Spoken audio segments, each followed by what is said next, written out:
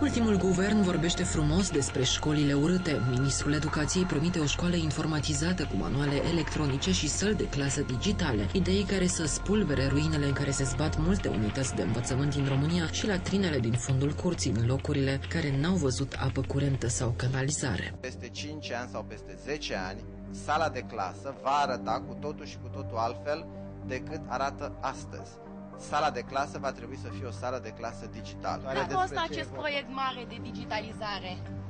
Nu, nu avem datele în momentul de față. Când o să avem toate datele, vă spun. Au trecut 9 luni de când ultimul guvern s-a umflat în promisiuni și până acum niciunul dintre obiectivele asumate nu a fost atins. Elevii revin la școală în clădirile care nu au fost reparate peste vară. Alții vor renunța la școală pentru că nu au bani de transport. Din toamnă, Ministerul de Finanțe a decis să plafoneze abonamentele elevilor navetiști, ceea ce înseamnă că familiile acestora trebuie să suporte diferența de preț. Nu considerăm măsura propusă ca fiind cea mai indicată pentru elevii care au oricum probleme cu, cu decontul navetei. E posibil ca unora să nu li se deconteze integral transportul și atunci dacă ei nu-și vor permite să plătească diferența, ar putea să renunțe la școală. Anul acesta am avut 30% abandon școlar la trecerea de la clasa 8 la a 9 din 200 și ceva de mii de copii s-au înscris la repartizarea computerizată la liceu doar 146 de mii. Asta înseamnă o pierdere de 60 de mii de copii numai într-un an.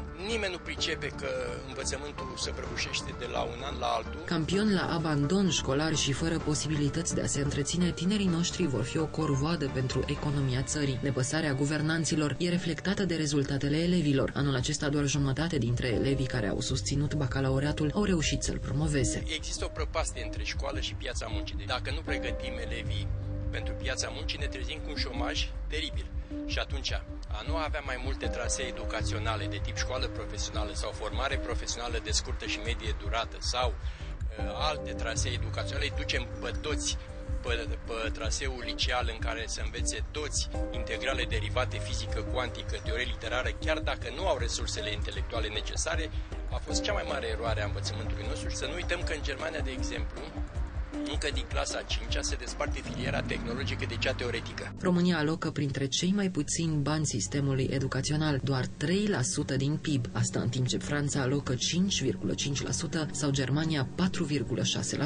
Lipsa finanțării cronice a educației duce la uh, crearea unei generații din nefericire de uh, elevi mediocri, cu părinți care suportă lipsa de performanță a elevilor și în același timp profesorii nu sunt motivați. Nu poți să ceri performanță unui profesor care trebuie să se ducă eventual să predea și în mediul rural cu un salariu de 7 milioane pe lună. Principala problemă a sistemului de învățământ din România este calitatea resursei umane.